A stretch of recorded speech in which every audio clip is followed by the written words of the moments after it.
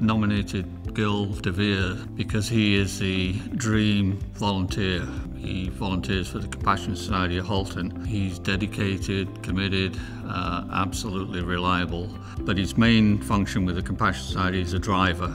Um, he picks up about three to 400 kilos of food a week from uh, several places. And he always gets it back to the store on time, in time to get it on the shelves. He's part of the reason why we can serve uh, in last year uh, over 19,000 people with food.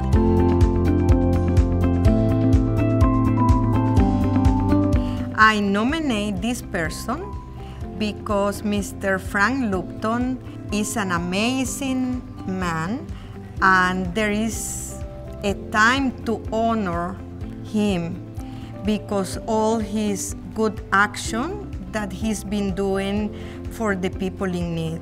Frank helps all kind of people, newcomers to Canada, refugees, all time, all kind of persons.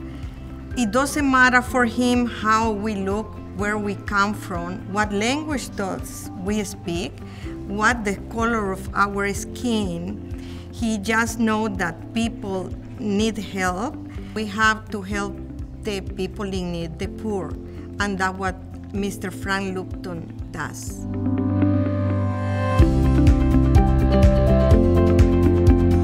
Janice is retired and she's spent so much time connecting with her community and seeing where they're at and what their needs are and how she can be their friend and help them.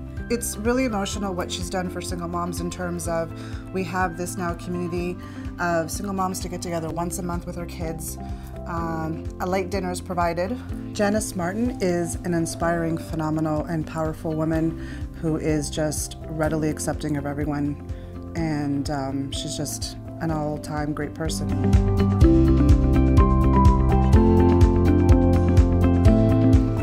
Burlington and the Art Gallery are really, really fortunate to have literally hundreds of volunteers provide service to the community. But Anne Swarbrick's uh, efforts on behalf of the Art Gallery, we felt went above and beyond what any other volunteer that we had come in contact with. You can't capture in you can't capture in 30 seconds the, the level of commitment and, and involvement that Anne has demonstrated over the last um, six years, but in particular during her time as the volunteer interim executive director.